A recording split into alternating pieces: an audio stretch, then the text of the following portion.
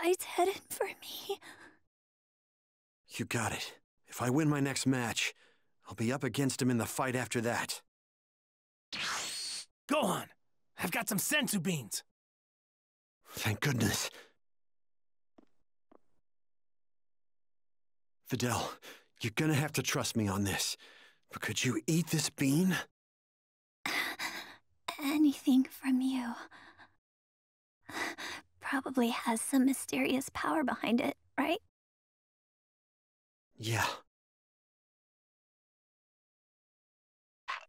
You should be fine now. But it'd be best for you to take it easy for a while here. Thank you, Gohan. Gotta go. Everyone's waiting.